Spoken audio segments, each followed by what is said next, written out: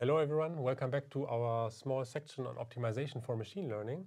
What we have focused on until now was the question how to iteratively update our weights of some machine learning model, let's say a neural network. Could also be a linear model, even though we have closed form solutions there. But this scheme just gives us an, a general setting of how to update our weights until we have the best model, so the minimum of our loss function value.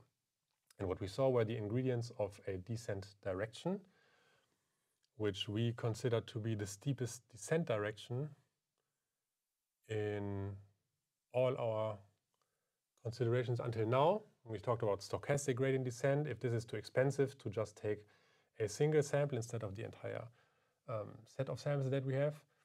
And we had this uh, step length. Well, we talked also learning rate in machine learning, which determines how far we move along this descent direction. So what we have considered is a suitable direction, a hopefully suitable step length, and then the question how we can reduce the cost if this is expensive. And so what I would like to address here is the question how many iterations do we need until this converges, or show you an issue, what, what we can observe um, in, in particular situations. And let's say this was not the perfect step size, but a fixed one that we have chosen.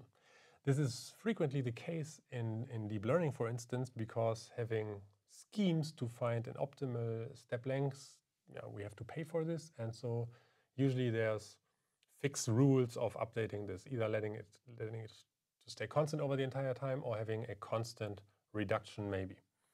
And so what can happen is, let's say we have two weights, so a very simplistic uh, setting, and this was our loss function landscape. Okay, so these are level sets, meaning that at every of these lines, we have a constant value of the loss function, which decreases into this valley. And so we start with an initial guess of our weights that has a particular loss, which is not optimal. Well, otherwise, it would be a very lucky initial guess. And now let's assume we have a step length that is not optimal, but that takes us some, some way. Okay, so Descent always means it's orthogonal, steepest descent. It's orthogonal to these level sets, right? These means constant, so the steepest direction is precisely orthogonal to this. And now we take the step length and say it's maybe a little bit too long. So this is our W1. And the rule is, exactly as we have written it here, W1 is W0 plus this fixed eta times our V0. So the gradient evaluated at the initial guess. And so now we do this again, right, following this update rule. And you see what, what we have, the descent direction is orthogonal to this level set line. So it goes like this. And maybe we don't go as far as we did here because the value of the gradient is smaller. So the step lengths do decrease, but and let's say even though the eta was fixed, this can decrease because this is not a normed length. So now we go here. This is our W1. And you see immediately what happens. We go like this, we update, and maybe go like this. We update, we land here, and so on. And hopefully in the end, we will, after a large number of iterations, find this minimum. Right? And if we're talking about theory, then even if you can guarantee that you have a descent, there's often no statement in how many iterations we will converge. And what you see here is you know, visually, you can see it's this zigzagging behavior, and this is exactly what it's known for. So what we have is this zigzagging.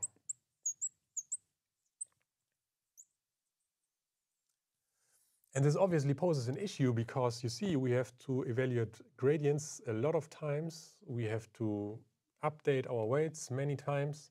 So this is not particularly efficient. And this brings us to the topic of our presentation. Um, what about momentum? I will tell you in a second what this means. What is the idea behind momentum? And so the idea is um, basically drawn from let's say, let's consider a very simple setting. You have a ball, a rock, and is rolling down the slope. And so you see, um, as we can expect, right, it starts rolling and it picks up pace along the way. So it gathers momentum, right? So by its mass and by its velocity, so it will speed up along the way. And so this is somewhat of the idea also behind these momentum-based methods. Um, I've not picked this arbitrarily, but they are also sometimes named as heavy ball methods, particular for this analogy. And the idea is simply to take into account some memory. This is exactly what's happening here, right? The ball is going down the hill or the slope, and it remembers, if we say so, uh, its, its, its step it has taken before, it gathers momentum, and this is, be, is used to, to accelerate the, the movement downhill. And so here's the idea. Let's gather momentum also in optimization. So what we can do is we just add a term, maybe a second step length parameter, kappa, times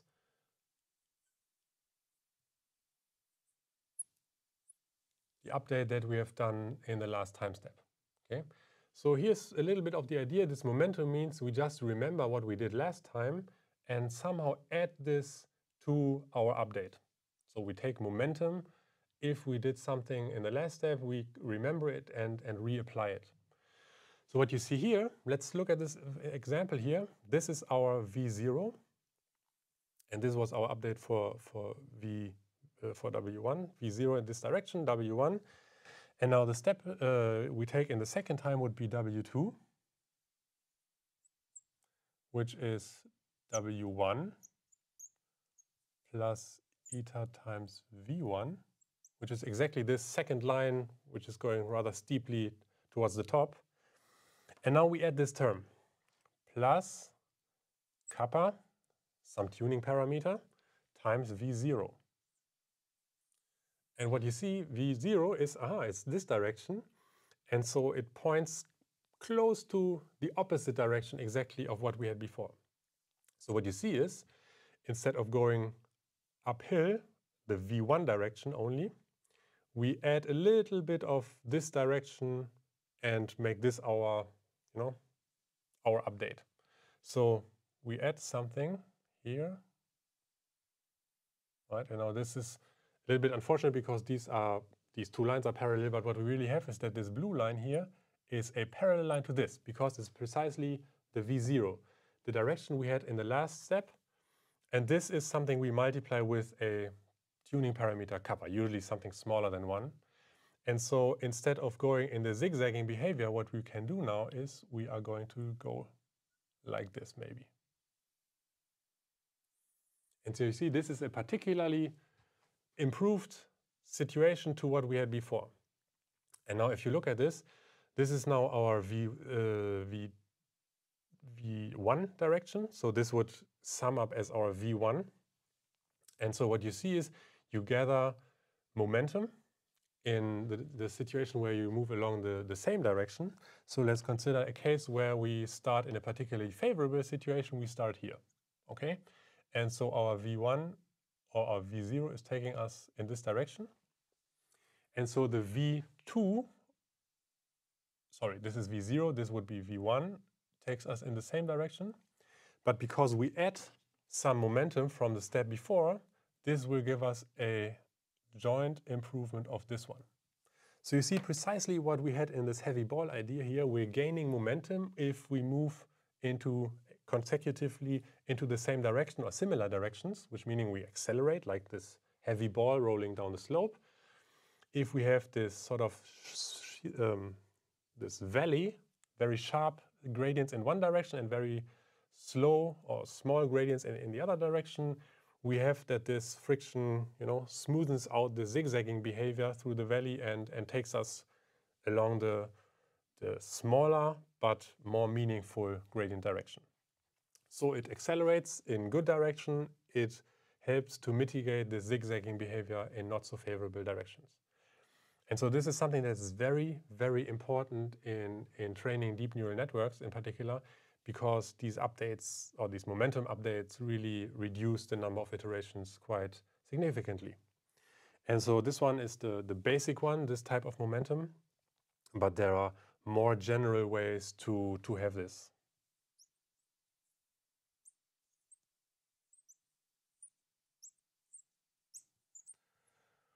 So what do I mean by more general? You, you just say that our update W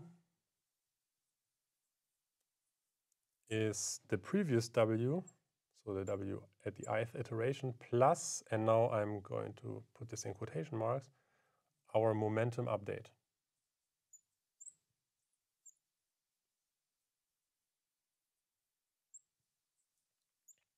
So what do, do I mean by this?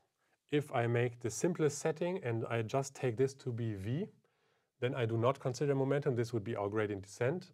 If I put into this momentum update this first order moment is what it's called, then I have what I've you know, added here and what I've sketched here in blue.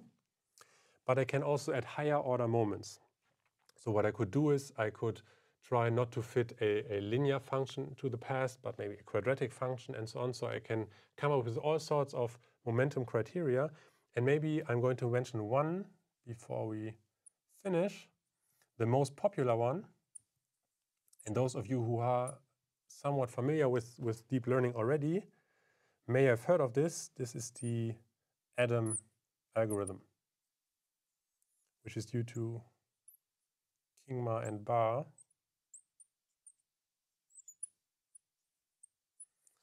Sorry, Ba. So in case you use, let's say, PyTorch or TensorFlow or whatever toolbox you want to use to train your neural network or Flux and Julia, then for training, you will use the Adam algorithm as a default. Obviously, you can change this, but this is what we, what we do. And what it's called, uh, or what the abbreviation stands for, is adaptive moment estimation.